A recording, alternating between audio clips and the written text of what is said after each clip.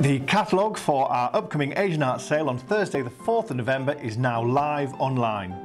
Head to dawsons.co.uk to browse the lots, request condition reports, and leave bids.